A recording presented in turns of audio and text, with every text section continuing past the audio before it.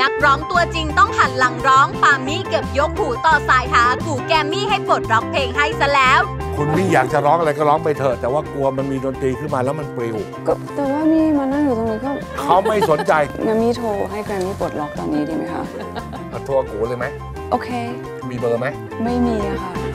เรียกได้ว่าแต่ละมื้อแต่ละ day มีเรื่องให้บันเทิงไม่หยุด จนต้องบอกเลยว่าเธอคือตลกหน้านิ่งที่ร้องเพลงได้นิดหน่อย แต่ปล่อยมุกเป็นงานหลักจ้าแทบไม่ เคยเห็นปาล์มมี่ร้องเพลงสดๆ แบบไม่มีดนตรีเลย น้ำเสียงเพราะจับใจ แถมในรายการปาล์มมี่ก็ยังสร้างเสียงหัวเราะได้ตลอดเวลา แต่ละคำตอบของเธอ peak ๆทั้งนั้น อย่างช็อตที่พี่ยุทธถามว่าปาล์มมี่เป็นศิลปินแนวไหน คำตอบก็ shot feel มาก บอกศิลปินแนวตั้งจ้า ไม่ใช่แนวนอนแนวตะแคงใด ๆ ทั้งสิ้นค่ะเป็นศิลปินแนวอะไรเขาเรียกแนวอะไรน้องไบร์ทแนวตั้งแล้วกันค่ะ แนวอะไรนะคะ แนวตั้ง แนวตั้งศิลปินแนวตั้ง และพี่ยุทธก็ยังได้เปิดที่มาของพระเครื่องที่คอปามี่ บอกรายได้จากการร้องเพลงก็อยู่ตรงนี้แหละ ชื่นชอบพระเครื่องมากจนได้ฉายาว่าปามี่วัดสแก และเคยคว้าแชมป์พระเครื่องมาแล้วด้วย สุดจัดประหลัดบอกมากจ้าพี่ส่งพาประกวดด้วยใช่ไหมใช่ครับค่ะ ปรากฏว่าได้ที่หนึ่งตอนนั้นมี่นั่งรถตู้กำลังไปทัวร์อยู่ แล้วก็เลยแวะปั๊มเลยหายใจเกือบไม่ออกคุณนึกออกว่าเลี้ยวเลี้ยวเลี้ยวเลี้ยว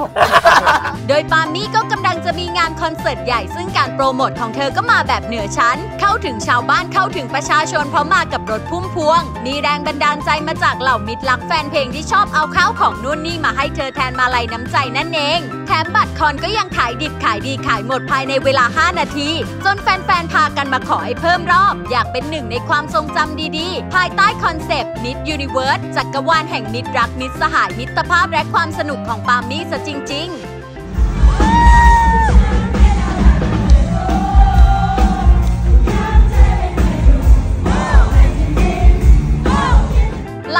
บอกอยากเห็นพี่มี่และน้องหมีเนยมา battle กัน คนหนึ่งไม่พูดแต่รู้เรื่องเยอะมาก อีกคนพูดทุกเรื่องแต่ไม่รู้เรื่องเลย เห็นทีพี่ยุทธต้องจัดให้สักแมตช์แล้วแหละปาล์มมี่จัดได้ว่าเป็นศิลปินเดี่ยวที่โลดแล่นอยู่ในวงการเพลงของประเทศไทยมาอย่างยาวนาน เป็นเวลามากกว่า 23 ปี มีน้ำเสียงเป็นเอกลักษณ์และมีความเป็นตัวของตัวเอง มีเสน่ห์ที่ไม่เหมือนใคร มีรางวัลการันตีความสำเร็จมากมาย และยังมีฐานแฟนคลับที่เหนียวแน่น นั่นก็เพราะความใส่ใจของปาล์มมี่ที่มีต่อแฟนคลับ บอกเลยว่าทุกคอมเมนต์ที่เธอตอบแฟนคลับในแฟนเพจ ไม่มีแอดมินปาล์มมี่เป็นคนเล่นเองตอบเองทั้งหมด แม้จะงานยุ่งแค่ไหนเธอก็ไม่ลืมที่จะ service แฟนๆจนได้ใจไปเต็มๆ